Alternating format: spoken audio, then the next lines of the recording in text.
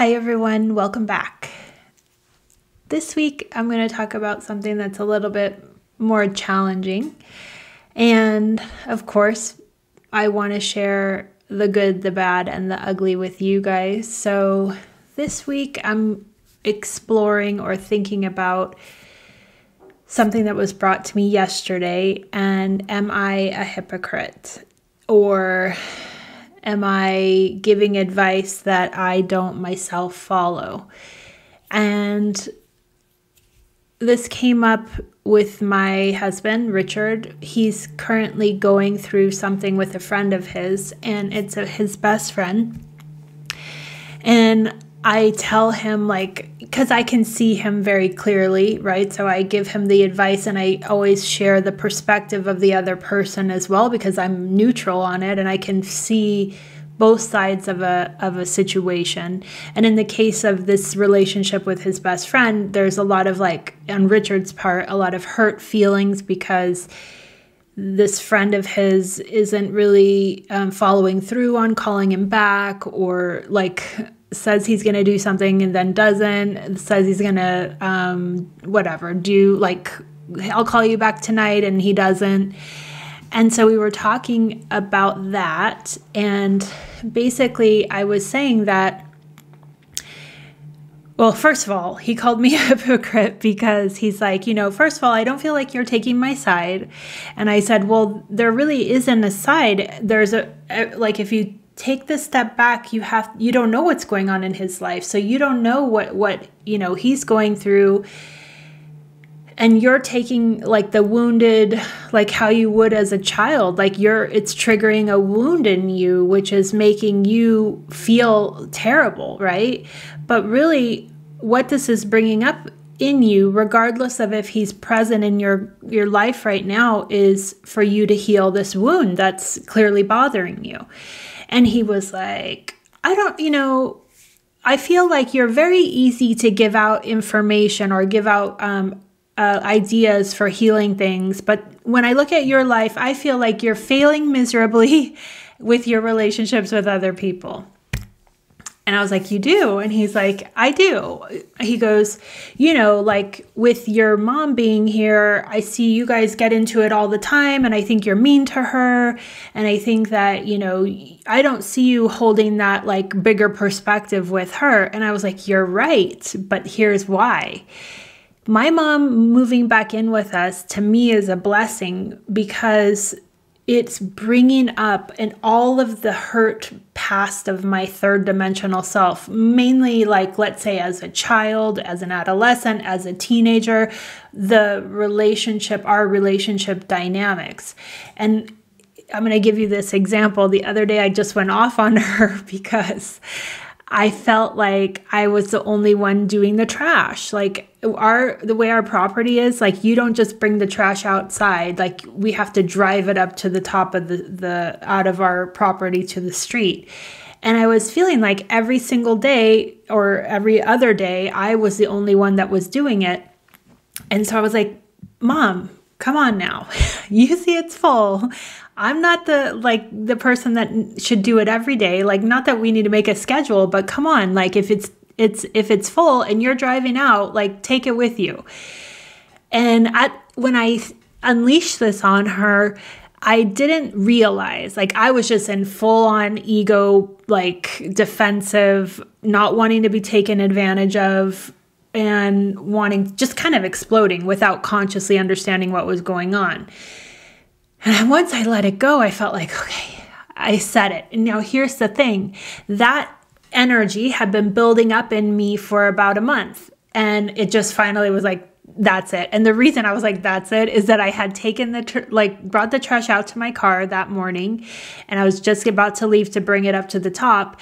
And right before I left, she came downstairs with her trash bins from her room and her bathroom and just dumped them right in the the new bag that I just put in there. And we have this kind of trash that's like these side by side ones, so it means like there's a recycle and a regular trash, but that means that both are way smaller than a normal size trash bag. So that's why we have to take the trash out all the time. So basically the the bag was now full again and I was like, "Really? You see that I'm bringing trash up. Why wouldn't you just put your stuff in a bag so I can bring it up with me or whatever?" So I unleashed it and and and she I know she was surprised by it, but essentially I realized a week later what was actually happening is I'm trying to establish boundaries with her and I'm trying to like almost like regain an equal equilibrium in our relationship as adults versus me as a child living with her would have just been the one that I have to do the dishes, I have to take out whatever, having chores in in the household, let's say. And it it feels like it was heading in that direction and I had to say like no dude you're an adult I'm an adult like we're both here we're both contributing like like help out and I didn't know how to do it consciously meaning like having that adult conversation so what happened is I reverted back to my child self that just blew up right and so Richard's like, Yeah, you're failing miserably at how you're dealing with her. And I said, "You know why? It's because my my wounds are the ones that are speaking for me in the moment, right? I'm not like being able to go like blow up a bigger picture and see the perspectives and say like, "Okay, this is how she's being this is what I where I would like this to go and how do I navigate her getting there?" that would be like a fully enlightened person you know, doing the work, I guess. But the thing is, and this is what I was trying to explain to him, is that when we're triggered, we revert back to our lowest um, dimensional self for a reason because all of those past hurts or past like misunderstandings or where you felt like you weren't seen, they're coming up because they want to be expressed in a different way, right? Or resolved in a new way where you you feel like I can't live like this anymore. I mean, I'm so grateful to have my mom here, but I can't revert back to my childhood self. And I mean, if we look at this in terms of like going home for the holidays, that's a huge trigger for every single person because why we revert back to our roles that we played as children or as, you know, adolescents in that family dynamic. And so when they come up, they're going to come up in that way because that's the only way that you know how to communicate with that person. So, in my case with my mom, it, it blew up. Like it was like, uh, and so I said, you know, what's interesting is that you see it as failing miserably. I see it and I feel it as once it's released, maybe I didn't handle it right, but once it was released, it was now there was a, a, talking point. Like it was something that was brought to the light and now we can like converse about it. And then fast forward a week later i actually said mom that wasn't even about the trash. This is what it was really about. Because now i had time to sit step back from my anger about it and to say like this is what i really was feeling and it just came out in in the form of the trash bag. Because the thing I know, even with healing, is that whatever the symptom that you think is the problem, it never is that problem. It's always just the trigger that's trying to bring up the energy of what created the problem, which my mom is super um, like i've called her like a type a personality. She's loud. She is like boss lady. Like she is um, just the dominant. So between me and her uh, she wins every time. Like, I'm just going to be quiet and sit there and not say a word because I can't, like, I can't find that balance. You know, I can't, I'm not going to go out of my body to try and match that um, masculinity. And I, what I instead do is revert back to a more feminine, like, kind of repressed part of me, which I know I need to work on, right? But it blows up because I don't know how to how to express it in a in a healthy way. So I said where you see say I'm failing miserably, that's a judgment on a relationship that you're not a part of where I feel like it's a process. Like I'm now I think we are about 2 months in of her living here and I feel like so much gratitude and gratefulness that she's here because it's bringing up those like last like dense little pockets of me that want to come out, you know? And the other day, she got uh, oh a, a, letter. I think it's from Social Security. She's at the age that she can start collecting on, um, I guess, Social Security. And so I said to her, "Does this mean you're going to move out? Because it's basically doubling what her income is, and and maybe we'll help her get back on her feet easier." And I, but I said it like, like right when she sent she sent me a text with the letter and I had this feeling like we're finally like um like we're finally dancing, you know? like we're finally like everything feels like it's flowing right now with with our relationship with Richard with every everything. And here she sends me this letter that I thought, "Oh, does that mean she wants to leave?" So I said, I went over to her room and I knocked and I said, "Does this mean that you want to leave?" she's like, "Why do you want me to leave?" And I was like, "No, I feel like we're just starting to talk, like we're starting to communicate on a on an even level now. So I no, I don't want you to leave." And she's like, "Good, cuz I'm not ready to leave either." So I was like, "Okay, great."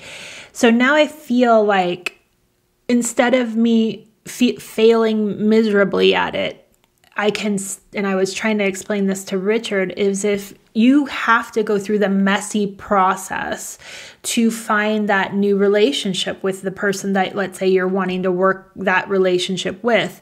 And he was like, oh, because he looked at it like i saw you lashing out at her so you're not practicing what you're preaching uh, to me and then i explained to him of course for anybody that's outside of the actual dynamic it's so much clearer for me to see what actually is happening between him and his friend and try to give him the bigger perspective but when you're in it and you're the one going through it, you're going to fail. You're going to like revert back to your old ways. You're going to be a mess about it and that that's nature like that is the process. But then so i would say giving yourself grace when you're in it. And then once you take the breath and bring it back down, you can see the bigger picture and then have the like more neutral conversation, in this case with my mom, so ha- telling her like look it wasn't about the trash bag.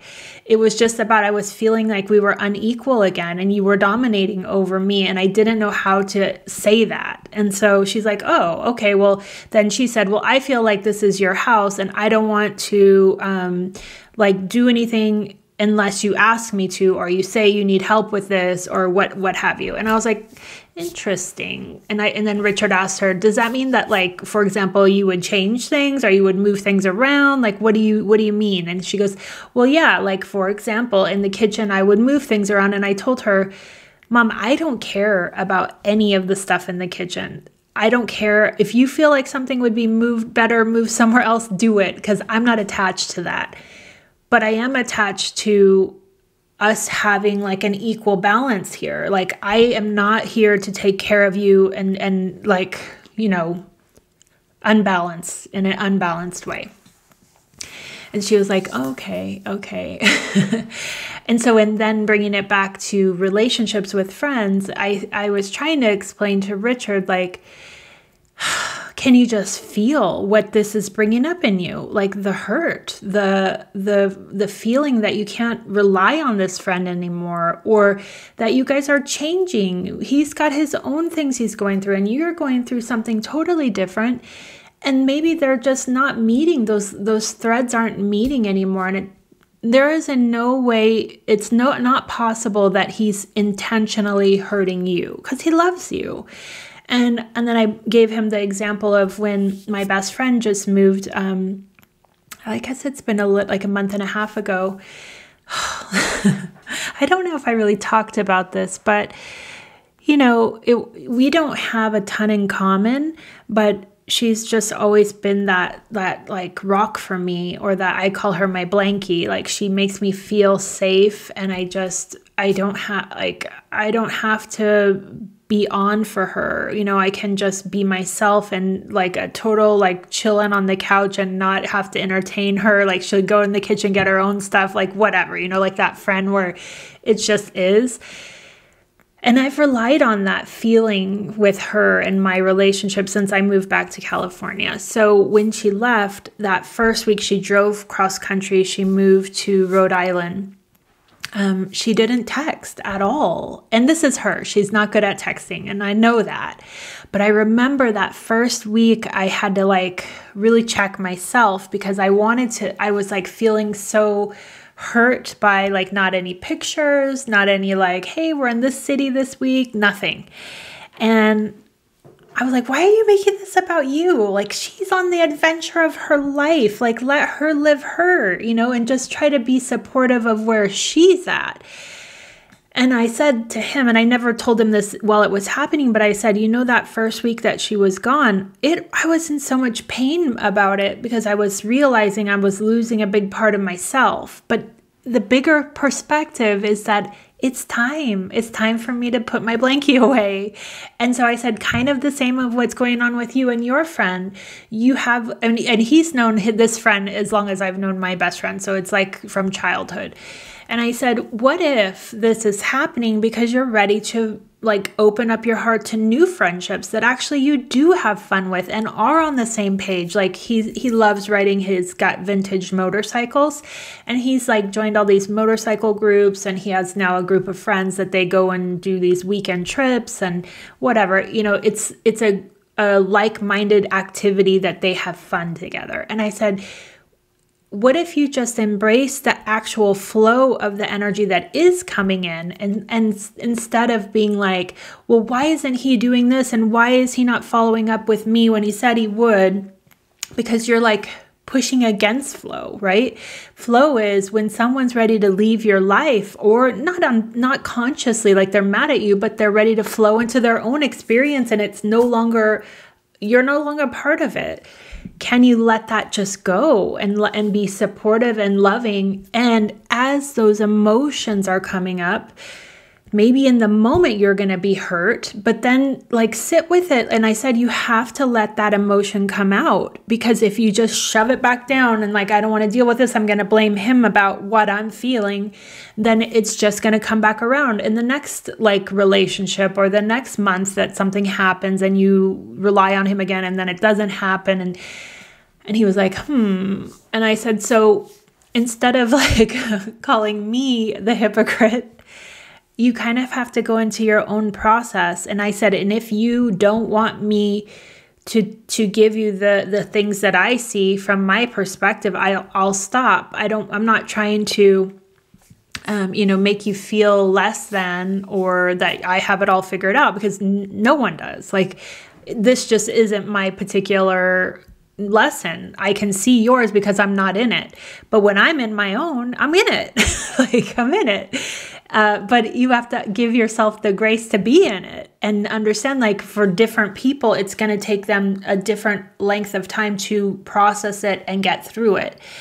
And he was like, okay, I can, I think I can see that. And he's like, yeah. And, um, calling you failing miserably at your relationships is not fair. And I said, the other thing is that there are relationships that I have that are no longer in my life. And I said, you could look at that as failing miserably, but the way I feel it is I've left the door open for hopefully a reconciliation at some point but I also know that I'm not going to make that person be, meet me now because they can't. You know, like this would be like in the case of of if his friend, like, why aren't you calling me back? You said you were gonna call me back and you didn't call me back. Like, what's going on? That friend is probably gonna be like, what? I was at the gym. Like, you know, like it's nothing to me. So, me forcing a relationship that's not in flow is not going to heal it. I have to like allow each person to go through their own process, no matter how long that takes.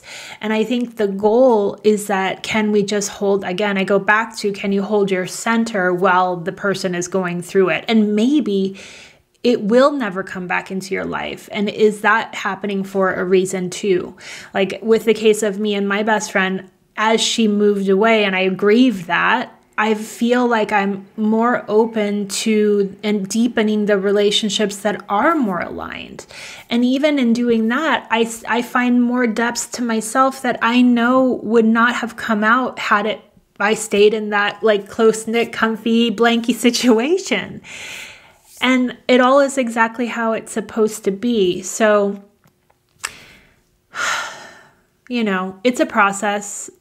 I don't feel like now this is a day later and I've really thought about what he's had to say. I don't feel I'm a hypocrite.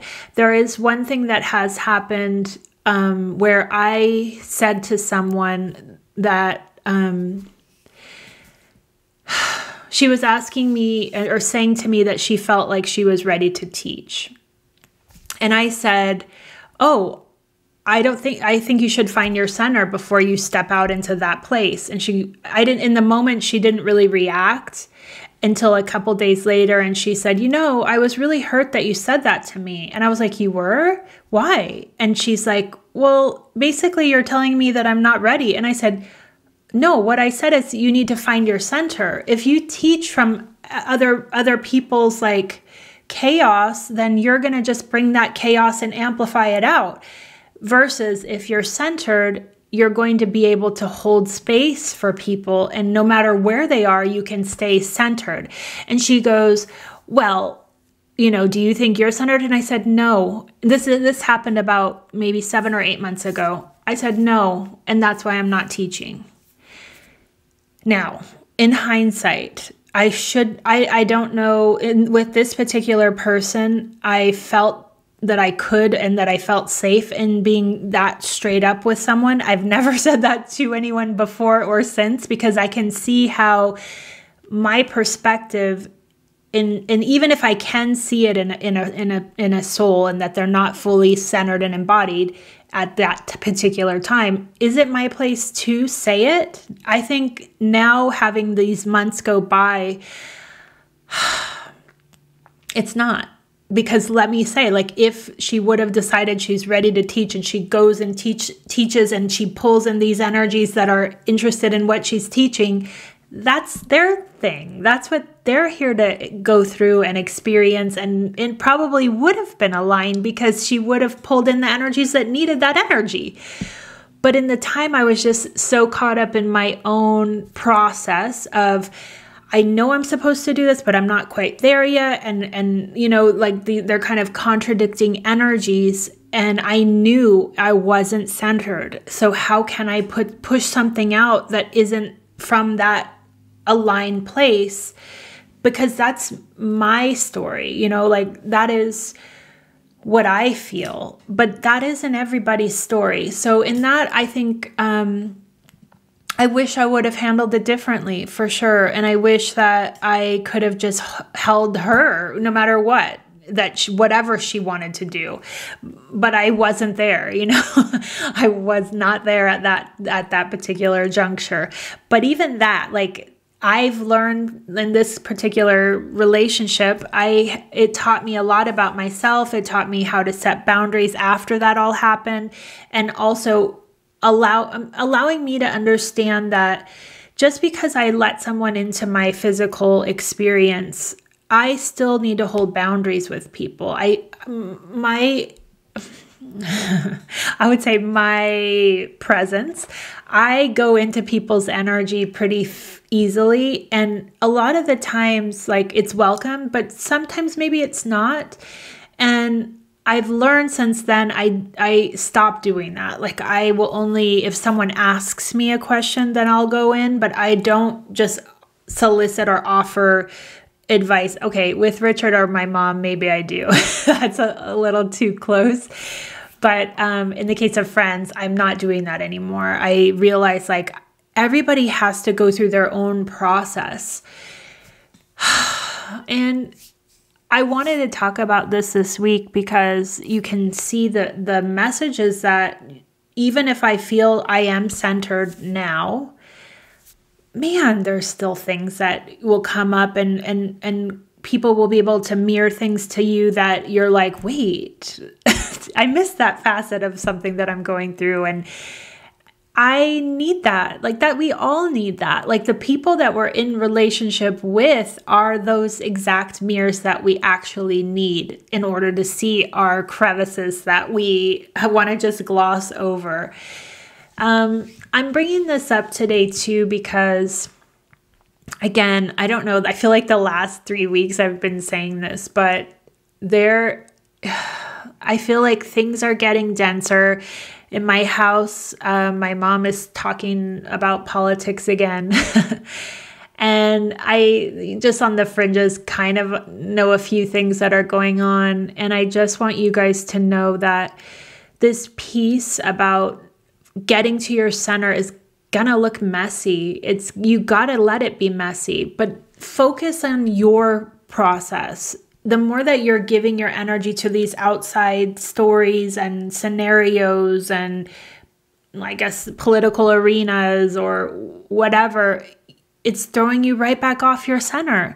The only way that you can work on your shit is to go into the shit. Like, if you're distracted, it's just keeping you outside of your center. It's keeping you outside of how you get to that place of like calm, cool, collected. The whole world can be burning down to the ground, and I am going to rise. I'm going to be totally fine. If this is my day to die, I am centered in that moment. I am present. To me, that is where we're headed. And, you know, essentially, everything that is coming or that we need to break down, systems that need to break down to be rebuilt, it's going to be messy and it needs to be messy. But if everybody is in the that mess, who's holding the space or the light for something new to be birthed?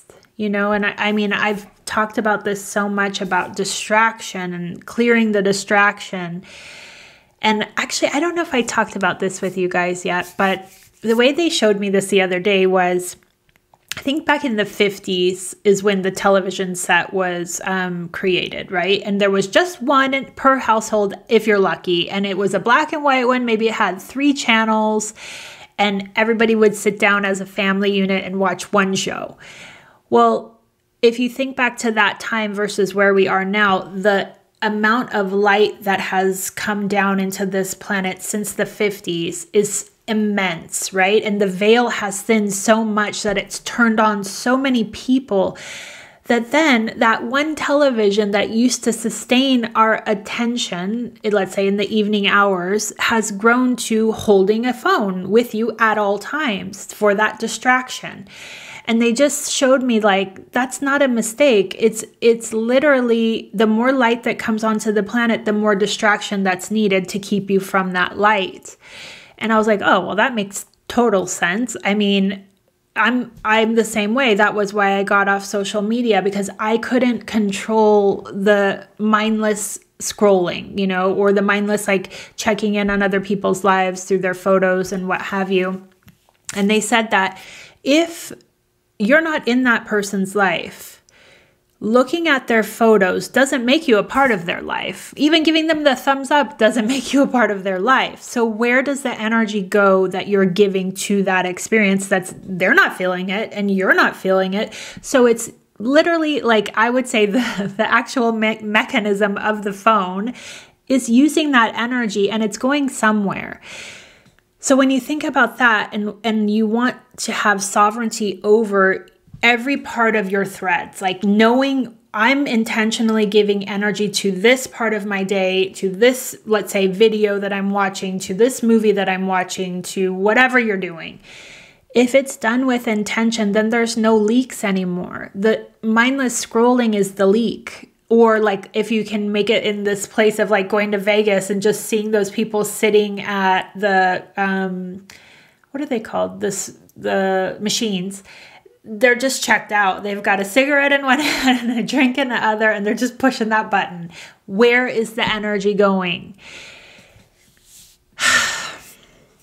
I, th- I I don't know why this is coming through but essentially that like tipping point or that balance point is so like it's like a teeter totter every single day. So as these denser energies like come to the surface, the more centered that we can be to hold where we are, you know, and understand and give grace to pe- other people where they are without needing to give your energy to it. That's going to keep that the the game of light a little bit higher. I mean, it's going to be this teeter totter for a long time, but I feel like having that little bit of tip up on the light, it's going to help the processes of everyone collectively.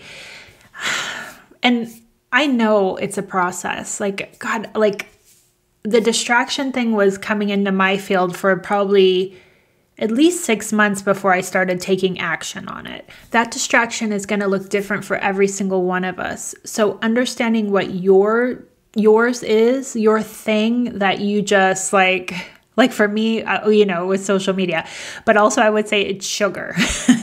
so whatever that thing that you really don't have a, a handle on, that's your point. That's the thing that you're ready to like start to investigate. Why is energy able to leak that way through you? And then it's just being graceful with yourself and understanding that it's a process and trying to bring that consciousness to that point as as often as possible, right? Maybe it's daily and then it gets down to like a couple times a day, then it's like every hour what's happening here.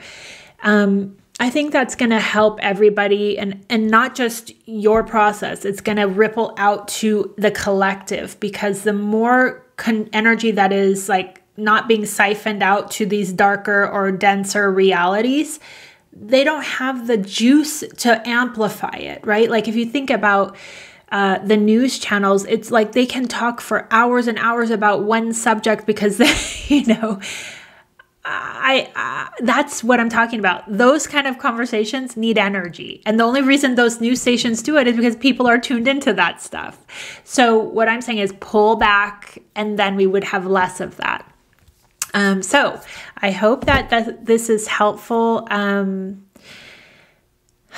and just try to have grace for yourself. I'm trying to have grace for myself as, you know, being called these names and not taking it personally and being present to work through where my perspective was i believe helped to richard to see a different side of me versus like him judging me for giving him advice and not following my own advice. Like we're all human. We all are going through our own tough shit right now and allowing and having the grace for others to do the same is where i think it is so I hope this is helpful, and I'll see you guys next week.